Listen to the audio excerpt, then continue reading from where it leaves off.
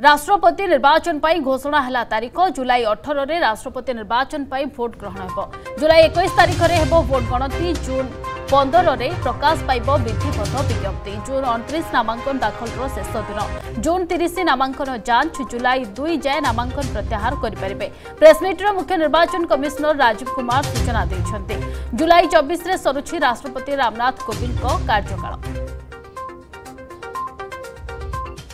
The notification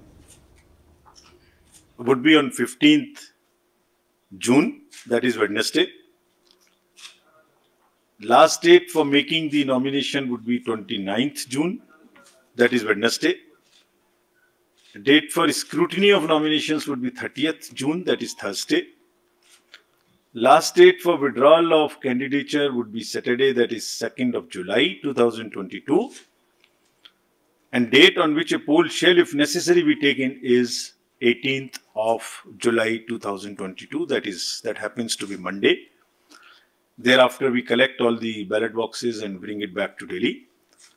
And date on which counting if required shall be taken and result declared that would be 21 7 2022 well in advance then the 24th of july